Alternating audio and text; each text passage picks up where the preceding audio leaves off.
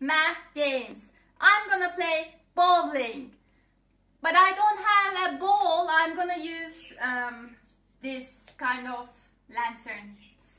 Let's try. Ready? Steady.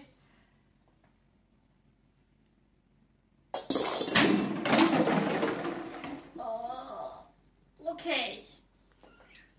If the bottle's down, I'm gonna use those numbers for subtractions. If the bottles up, I'm gonna use them for addition. So, how many bottles do I have up? Only two. 10 and 4. Let's make addition. 10 plus 4 10 plus 4 11 12 13 14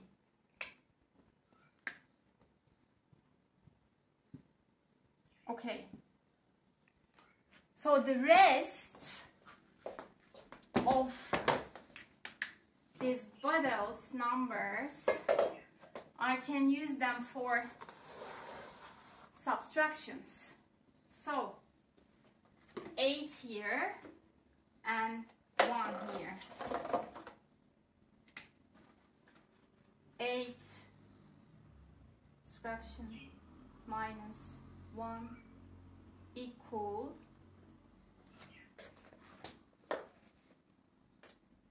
five and three is eight. Yes. Minus one. How many? Five, six, seven. Seven. So this is done.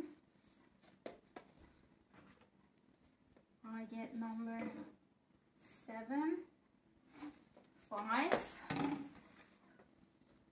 seven minus five,